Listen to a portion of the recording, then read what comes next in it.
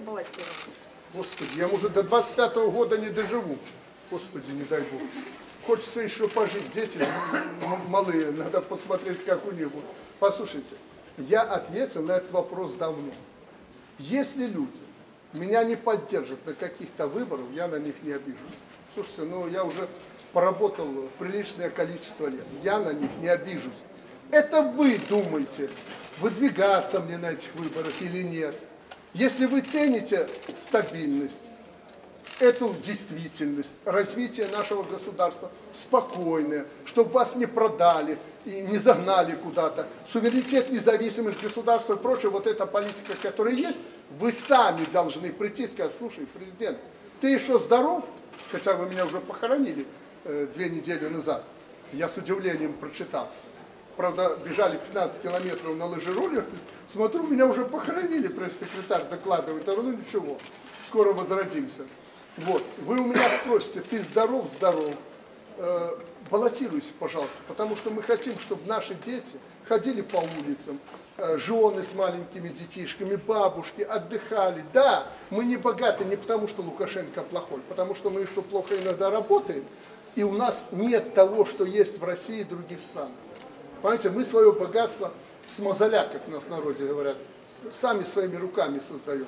Так вот, понимая это, вы должны меня просить. Если вы не попросите, я никогда не буду снимать свою кандидатуру, чтобы вы потом меня не упрекнули, что я избежал. Понимаете, я же уже об этом говорил. Поэтому я э, свою кандидатуру предложу на этих выборах.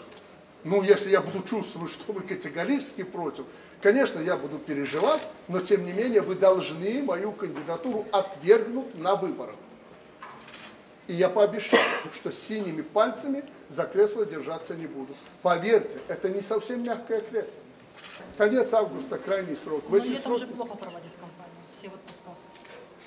Так что, зимой проведем? Подождите, давайте отшухаемся от этих выборов. Все в отпусках. Тот, кто хочет проголосовать, тот э, при- приедет и проголосует.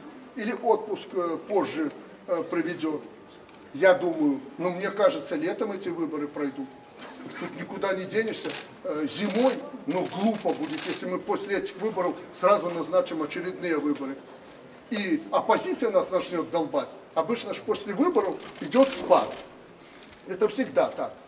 И оппозиция будет не готова к этим выборам. Скажет Лукашенко, чтобы, э, так сказать, нас вывел из строя и вот проводит эти выборы для себя. Поэтому надо, чтобы спад этот преодолеть где-то, ну, может, к апрелю месяцу. Дальше пойдет подъем у оппозиции. Но только не весеннее обострение. Вы знаете, что это тоже опасно. Вот после весеннего обострения проведем мы, э, у нас великая дата Победы, 75 лет Победы э, в Великой Отечественной войне. У нас День независимости 3 июля. Это будет масштабное мероприятие, и их надо провести. Наверное, ряд еще надо посеять все, чтобы было покушать. Если нового президента изберете, чтобы не было как мне. Три дня муки оставалось, в Минске нечем было минчан кормить. В стране не было муки, хлеба не было, чтобы так не было. Вот это мы сделаем по-хозяйски, а потом период до уборки, я, я вот так думаю, я об этом, честно, я еще этим не занимался вопросом, я думал про эти выборы. Вот так вот э, в каком-то промежутке обозначим.